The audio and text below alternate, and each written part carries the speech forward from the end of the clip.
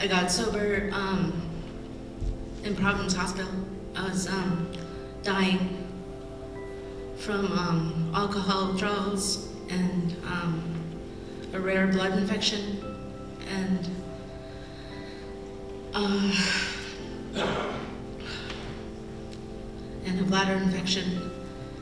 And I barely remember um, being there. I know I was really sick, and I remember um, my friend Dale and my daughter were taking me to the hospital, and um, I kind of remember just a little bit when I woke up, and I heard the doctor saying that um, if she makes it through the night, she might have a 50-50 chance of living.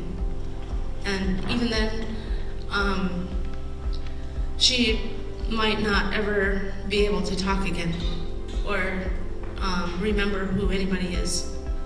And that's how sick I was. And um, that first year of being sober, um, I think it was the, the biggest test for me. Um, you know, because I credit God for delivering me from um, alcoholism. Um, there was nothing that I could have done to stop myself from drinking.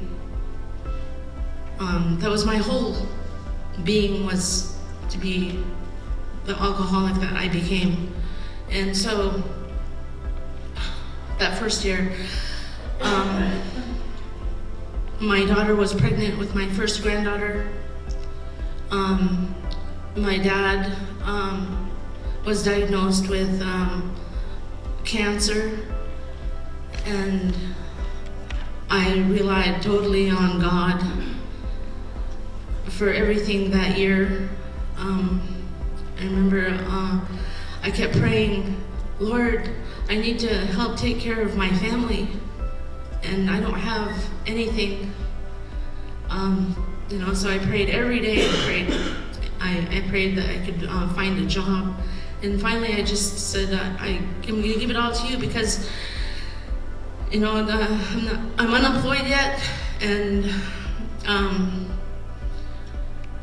I need to take care of my family, and so I said, um, since you, you know, you can't help me get a job, so uh, send me money. And so that week and the couple of weeks after that was the most amazing time that I've seen God work, answering that prayer that I prayed for money. I was getting checks in the mail from, I had like three checks that I didn't even apply for for um, permanent fund that came, they sent back to me during that week. And then um, for years, because of my drinking, I lost custody of my kids, and child support was even sending me money, and it was amazing. I, I just knew then that, you know, that God has got everything under control. And, you know, like um, he was saying, I'm from Nikolai, and I don't know if very many people know where that's at, or um, but there's 80 people maybe that live there year round. It's a small village, and um, you know maybe it's about 50%. The alcoholism is like half now.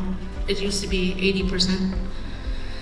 And anyway, um, my dad passed away in 2017 you know, all those things that I used to be really afraid of that I thought I was going to start drinking again, you know, I was carried through all of those things. And, uh, um,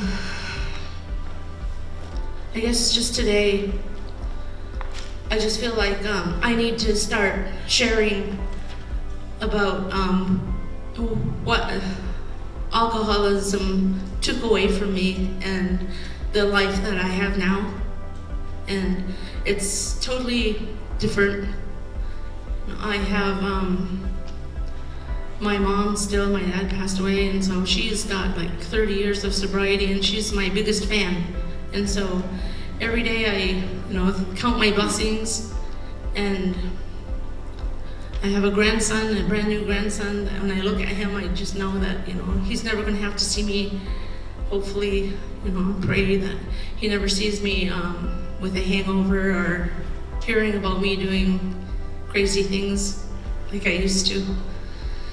So I've been working, um, trying to help people for the past 10 years, 10 and a half years or so. Um, I help people to try to get into um, recovery programs.